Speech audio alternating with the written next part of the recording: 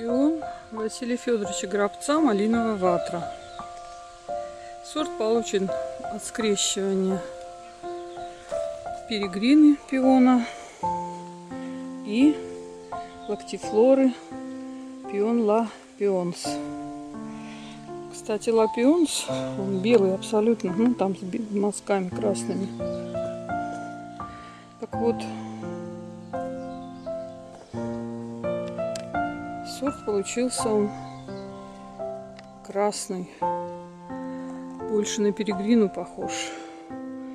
От родителей отла пионса он цвет не взял.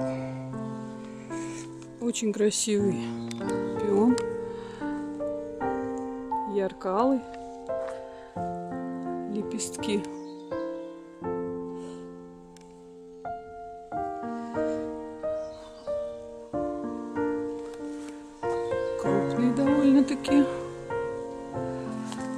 И блестящие.